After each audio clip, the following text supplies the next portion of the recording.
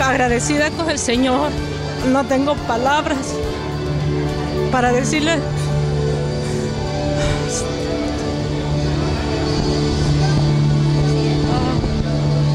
El Señor ah, me alcanzó de la comunidad gay, a pesar de las, de las murmuraciones y problemas que vinieron. ah, no pude sostener la prueba. Me aparté del Señor y mi familia fue muy golpeada. Mi mamá en El Salvador, mi hermana se divorció, su hogar se destruyó también. Pero había momentos en que siempre clamaba al Señor y, yo sabía que Dios allí estaba conmigo. Y este han sido años de bendiciones, de un paso a paso me ha llevado levantándome el Señor, creyendo más en su palabra y haciéndome más fuerte a pesar de las de las tempestades que puedan venir a la vida de uno y sabiendo que siempre Dios tiene una palabra, aunque el diablo te, te diga ya no sirves para nada, está Dios siempre contigo. Recuerda que en los momentos difíciles y en los momentos que tú dices no tengo fuerza, ahí hay una palabra que Dios puede levantarte a los jóvenes, para los niños, a los demás. Que Dios me los bendiga, bendiga y saludos a todos de donde quiera que vengan. Que Dios los bendiga. Bueno, ¿qué diré? Simplemente que Dios ha sido muy grande, he sido muy bendecida por Dios. Y cuando alguien me pregunta que cómo estoy, les digo que estoy muy bendecida porque Cristo vive en mí. Yo tuve la gran oportunidad de conocer a mi Señor. Yo antes creía que lo conocía, pero la, realidad es que no, no lo conocía. Ahora, ahora sí es cuando lo conozco, Señor. Le doy las gracias por tantas maravillas que ha hecho en mi vida. Venimos del Salvador. Dios nos había hablado que era este el lugar donde teníamos que estar y pues le estamos dando gloria a Dios porque cosas grandes están pasando. Dios ha llevado nuestra vida a un nivel más cerca de su presencia y de bendición, de bendición estar acá. Ah, mis papás estuvieron el fin de semana pasado acá, muy impresionados de que Dios nos habló de que ellos tenían que venir, vinieron, recibieron y han de llevar palabra fresca también al Salvador. Yo estoy bien agradecida con Dios por, por, por tantas bendiciones, por cada palabra que Él dice nos llega a nuestro corazón y todo, todo lo que Él nos dice, todo lo, lo- el amor que nos transmite, lo transmitimos a, a nuestros hijos, a otras personas y yo estoy bien agradecida, ¿verdad? Este, porque me ha cambiado más mi vida, mi corazón y todo.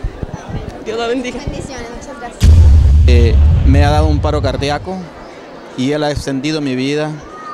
Mi arteria del lado derecho se me eh, obstruyó completamente, pero la oración que yo le pedí de tanto a él, que si era el día o me iba a extender los años, él me ha extendido los años.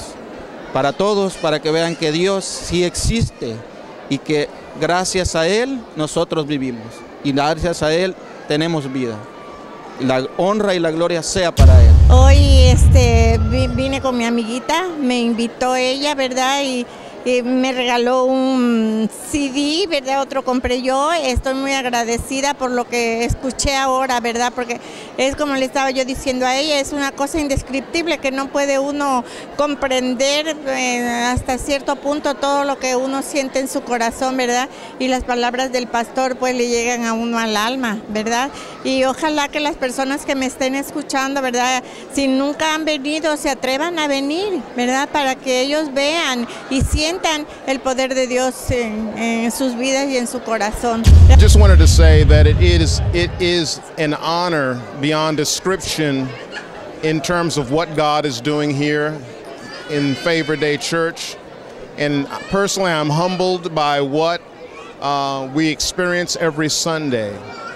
And I realize that it's God and God alone. So it's it's a blessing with how many lives we touch and how many lives are changed as a result of the gospel of Jesus Christ. And thank you to our pastor for having the vision, as well as humbling himself and allowing God to use him in this place, in this time, to bring about change, not only in this place, but also around the world. So thank you. God bless you. and may God be glorified in everything we do.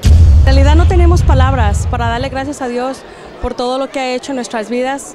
Gracias a los pastores por ser unas excelentes guías espirituales para nosotros y gracias a la iglesia por, por abrirnos las puertas y tenemos los cielos abiertos. Gracias. Solo quería decir que en el servicio que pasamos sentimos algo muy bonito. Yo siento que estuvo la presencia del Señor y siento que cada vez que vengo aprendo algo nuevo y es algo más edificado. Ah, yo tengo ya que tiempo viniendo y siento que mi vida ha cambiado mucho. Ella está conmigo y es el primer día que, el primer día que viene es mi sobrina y que, no sé qué sienta ella. Ah, pues yo sentí ah, mucha libertad para hablar con Dios y sentí la presencia de Dios y no tuve miedo de levantar mis manos y ya, estuvo bien bonito. Bueno, pues estamos muy contentos y muy agradecidos de haber podido hacer este viaje, de haber podido estar aquí en la iglesia. La verdad que es una bendición. Venimos de Tucson, Arizona. Estamos viendo el mover de Dios, cómo Dios está mm, bendiciendo aquí en, en Los Ángeles y está bendiciendo pues la iglesia con Dante Gebel. Así es que estamos muy agradecidos con Dios que nos haya podido dar la oportunidad de viajar estas horas y venir y estar aquí. Nos vamos llenos y creyéndole al Señor que vamos a poder transmitir lo, el mover del Espíritu Santo que hemos visto, lo que está haciendo Él aquí en Los Ángeles. Tan grande como lo que sentí ahora, sí, es muy precioso.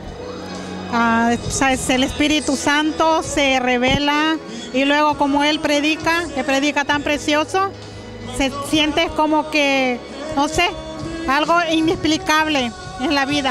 Aquí dando testimonio porque ah, yo no sabía lo que es ser tocada por el Espíritu Santo. Yo pensaba que ah, solo es te caes y ya, y algo así, y no.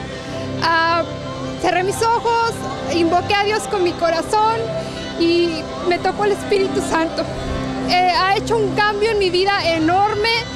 Ah, estoy mejor en todo, en mi, en mi familia, con mis hijos, en mi trabajo.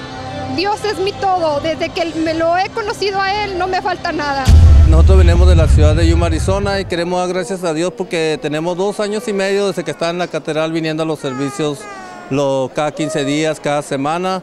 Eh, los muchachos de nosotros se bautizaron o en los bautizos que hubo hace poco. Es un sacrificio grande porque manejamos cada semana, cada 15 días, hasta por cuatro horas por venir al servicio, pero nos vamos bien bendecidos y damos gracias a Dios, porque nos ha, llevado, nos ha traído y nos ha llevado siempre con bien y Él suple todas nuestras necesidades. Que Dios los bendiga. Gracias. Mi piel está chinita, me da frío de la emoción y mi hija está en el, lo mismo que yo, pienso que es igual, solo que no se acerca.